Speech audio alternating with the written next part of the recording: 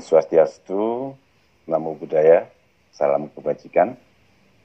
Pada kesempatan ini, tidak lupa kami ucapkan rasa hormat kami kepada Akhin Al-Kiram, Soleh, Gus Pak Tita, serta seluruh pemateri pada webinar kali ini. Kami tidak mungkin memberikan konklusi, kesimpulan atas apa yang telah disampaikan oleh pemateri-pemateri sebelumnya, karena sangat luar biasa, banyak ide-ide, banyak gagasan-gagasan, dan ucapan-ucapan. Yang pertama yang kami sampaikan adalah kita ini sedang memperingati satu abad NU, tentu saja kita ucapkan selamat dan sukses kepada Nahdlatul Ulama. Semoga ke depannya semakin jaya, semakin sukses, menjadi organisasi terbesar ormas Islam di Indonesia tentunya dalam rangka menjadi garda terdepan, mengawal persatuan dan kesatuan, memberikan kerekatan antar anak bangsa dalam kehidupan bermasyarakat dan bernegara. Ada beberapa hal yang kami catat, Mbak. Tadi yang disampaikan oleh Pak Yai Indarto, Romo Nainggolan, dan yang lain-lain. Tetapi apa tentu saja yang saya sampaikan ini nanti tidak bisa merangkum seluruhnya kita fokus kepada NU. NU ini sudah satu abad lamanya dengan berbagai kiprahnya dalam menjaga NKRI dan tadi disampaikan oleh Pak Indarto tentang politik NU itu juga pernah masuk di politik praktis dan sempat keluar dari politik praktis Masumi pada saat Muktamar ke-19 tahun 1952 yang diadakan di Palembang.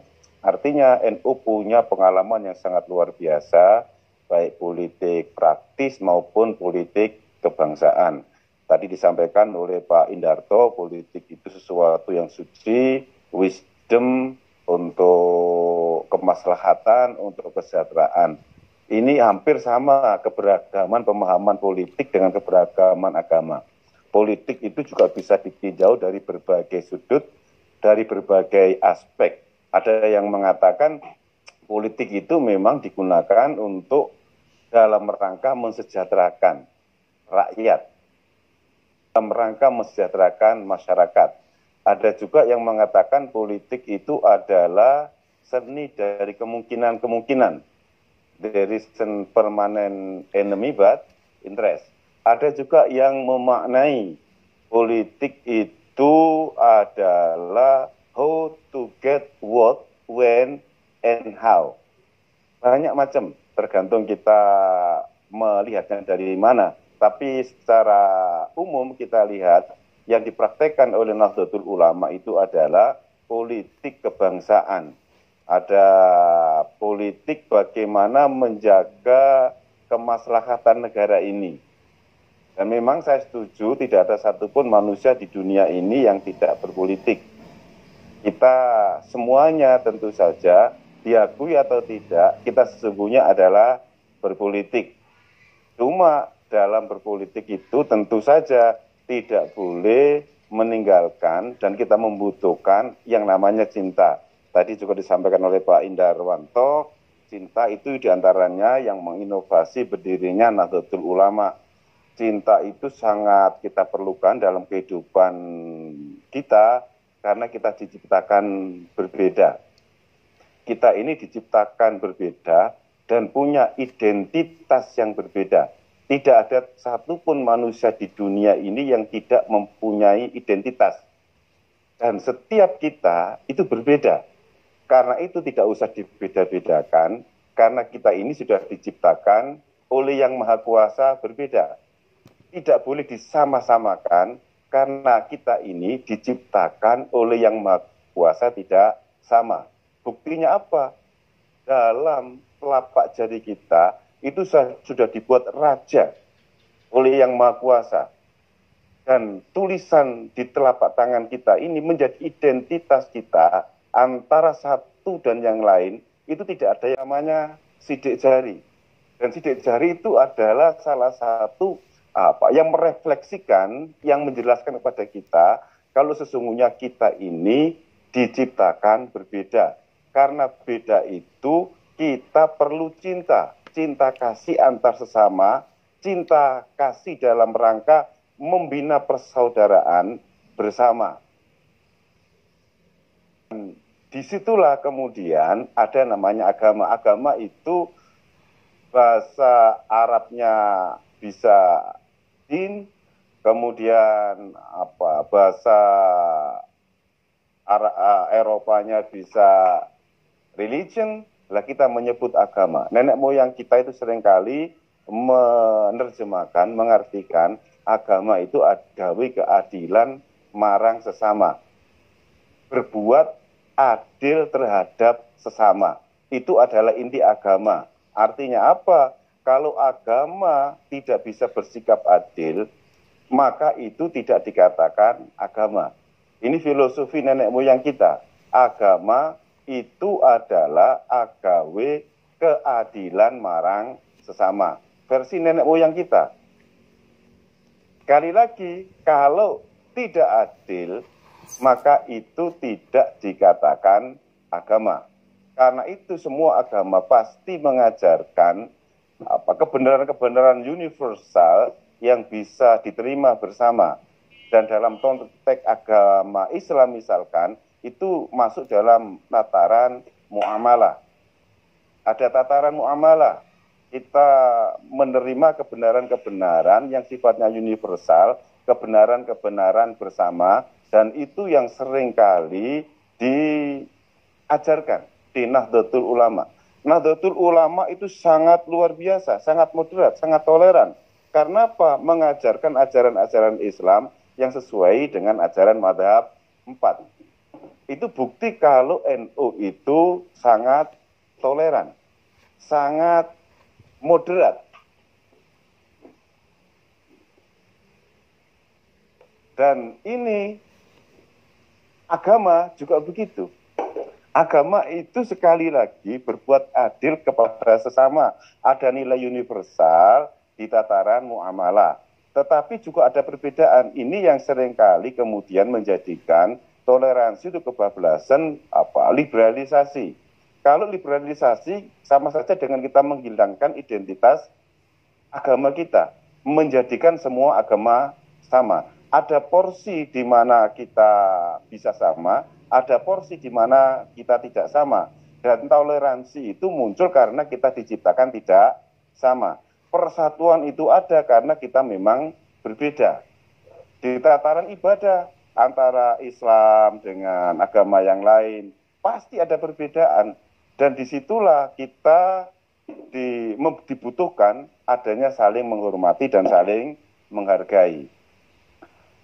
Saya dikasih tema oleh Gus Soleh tentang apa kekuatan NU sampai satu abad itu ada di Yayai Kampung. Sebetulnya ini adalah salah satu salah satu apa pilar saja karena kalau tidak ada yang mengorganisasi, tentu saja dengan keleran. Jadi salah satu pilar kekuatan NU itu adalah ada di kiai-kiai kampung, ada di ustadz-ustadz pinggiran. Kenapa? Mereka sangat militan. Militan bagaimana? Dia tidak terprovokasi dengan kepentingan politik. Kalau kita ke kampung-kampung itu bagaimana kita melihat kiai-kiai yang apa dijadikan jabatannya lebih tinggi itu malah tidak mau. Dan tugasnya itu betul-betul ikhlas. Tiap hari hanya ngaji, ke sana kemari. Dan belum tentu itu mendapatkan gaji. Dan itu seluruhnya dilaksanakan karena keikhlasan dan ketawaduannya kepada kiai-kiai. Ini menjadi salah satu pilar yang sangat kuat di dalam tubuh Nahdlatul Ulama. Banyak sekali kalau ada rebutan jabatan misalkan ya ada di tataran tertentu. Tapi di masyarakat bahwa itu banyak kiai-kiai yang betul-betul masih murni, ikhlas mengajarkan agama. Tentu saja ini ada dalam tutunan mata empat dari kampung ke kampung dan itu dilaksanakan dengan ikhlas dan rutin. Bagaimana seorang pengurus ranting tidak mau dijadikan pengurus cabang, padahal kadang-kadang banyak yang rebutan Bagaimana kiai-kiai di dusun-dusun itu tidak memikirkan dia dapat apa. Dia hanya mengerjakan begitu saja. Dan itu sangat ikhlas sekali.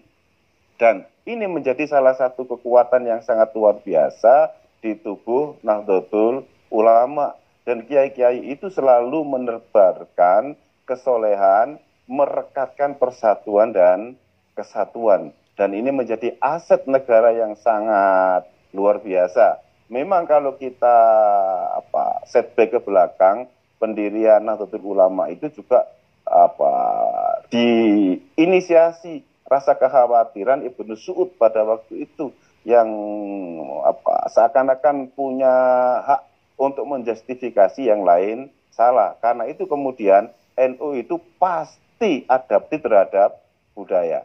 Pasti. Selain berwawasan kebangsaan NU juga anti kekerasan, NU juga adaptif terhadap budaya. Budaya-budaya lokal, lokal-lokal jenius yang ada di wilayah seluruh penjuru Nusantara. Dan ini yang menjadikan NU itu bisa berkembang dengan pesat, diterima oleh seluruh kalangan karena memang menyatu dengan budaya. Dan budaya ini salah satu identitas bangsa kita juga. Kita ini identitas bangsa kita adalah budaya. Kalau budaya kita nanti itu diporak-porandakan, maka sendi-sendi yang menyangka persatuan dan kesatuan bangsa akan bisa terusik.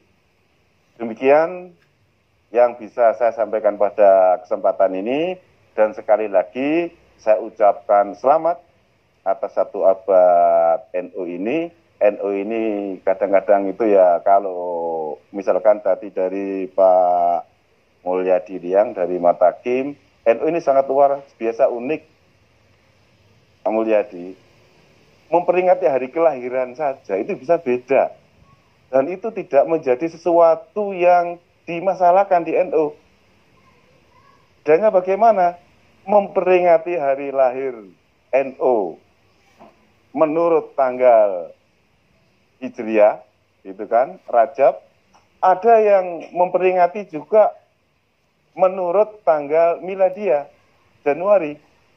Dan itu keberagaman yang sangat luar biasa dan itu menjadi sesuatu yang biasa dan diperingati siapa pun tanpa dipertentangkan.